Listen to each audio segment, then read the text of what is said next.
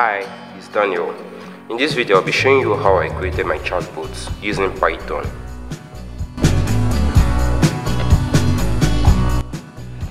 First of all, I will have to create a file because the name of the chatbot is called Lucy.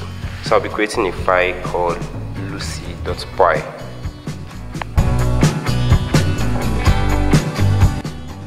Then I'll create another file for the long response and I'll name that long response.py. Py is the file format for Python. I'll start by importing some libraries.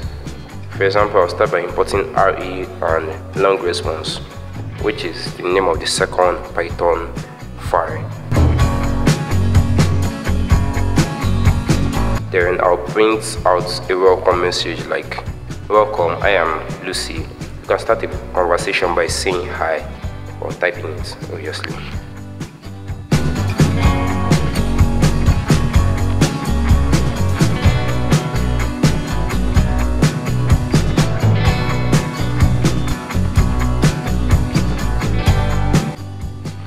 Let's test it and see how it works. Then we'll get our message saying, Welcome, hi, I'm Lucy. You can start a conversation by saying I.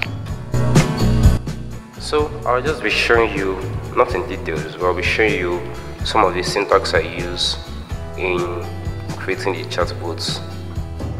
Like now I created a function which is message probability. It gets user's message, recognize words and single response. Everything makes the chatbot function.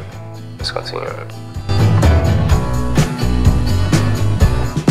For these aspects, the program is going to count each word user types and decide what kind of response to give to to give to the user. Um, the Python program is going to calculate the percentage of the recognized word that is already stored in the library. So it can also decide the kind of response to give to the user. So this one also checks for required words because there are some predefined messages that have required words and you're going to see it as you watch. That means not just any words that are already stored inside.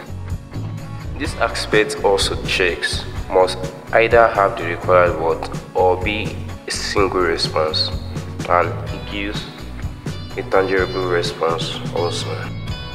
So after that, at this point, this is where we are going to impute the reply and the expected response from the user. But to skip that for now, for this aspect, it needs to get the response from the user, some kind of certain response, and some characters you need to avoid, like the comma, semicolon, question mark, exclamation, full stop, hyphen, whatever. It needs to avoid that so it doesn't see it as an error. The program is also going to avoid either you type a capital letter or a lower case letter so it doesn't print out an error. So I made a loop function that said if everything is true, it's going to print Lucy, then get your response, then continue doing that, doing that, and continue having a conversation. It's just like infinity, you can't continue the conversation for life. Then I start with collecting user responses and the kind of response the bot is meant to reply. So let's get started. The welcome message you see, welcome, I am Lucy, start a conversation by saying hi. It's going to print out a response called hello and that's it. That's what I'm starting with. The response is going to be hello while in that bracket are the expected inputs from the user like I, EU, sub, wherever. Anything you know is going to trigger the bot by saying hello, you just type it there. And if you note, I'm making sure everything is in small letter so that it doesn't return an error since I've made it recognize every kind of word as this man letter.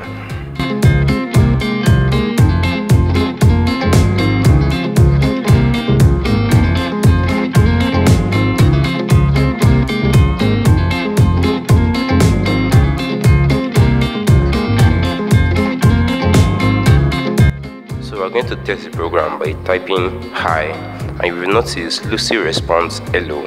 Try it again, hi, responds hello. So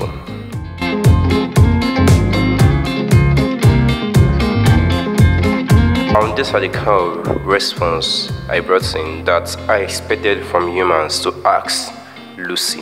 So it's already stored Python program. So let's start a conversation. I started hi, it replied hello. Then I asked, how are you doing? It replied, hi, I'm great, thanks for asking. I asked it, tell me about yourself. Then it replied, I'm a able trying my best to keep humans company. So I gave it a question that isn't stored already. What is today? And it returned an error because it isn't stored already in the database. That's when we come to long response. Most of other responses will be stored, like longer responses that will take more space will be stored in, in the um, longer response folder. So let's start with that. So for the chatbot to be intelligent to ask to answer that question, what is today?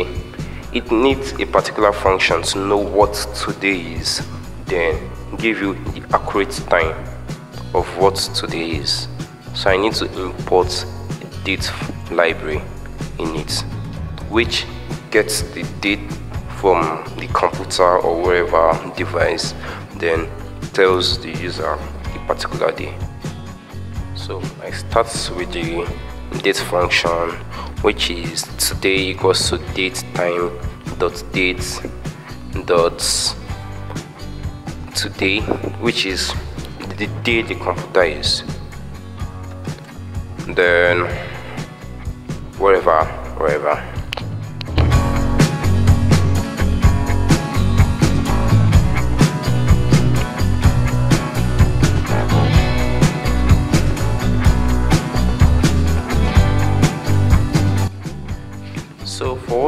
Whatever long response, like what is today, is going to reply today is then plus whatever date is gotten from the computer. That's the kind of response it's going to give. And checking the long response is going to import dates from long response into Lucy. Then a normal human being will ask anything like what is today? What is so once he sees the word today he's going to know that oh the user is asking what is today then gets the function then give you the answer. So testing it. We asked hi it replied hello what is today? It gave the response of the day this program was recorded so we're going to bring other long responses which a normal human is supposed to ask the chatbot. Then I'm going to give a response to that. Though still checking for other commonly asked questions, I'll add them, keep adding, get more questions. So hoping this chatbot is going to be the best human companion you can ever have in lucy.py instead of storing the answers there. I just stored the expected questions from for humans. Then in long response that's where the response which is supposed to give the user is stored. So thanks a lot for watching.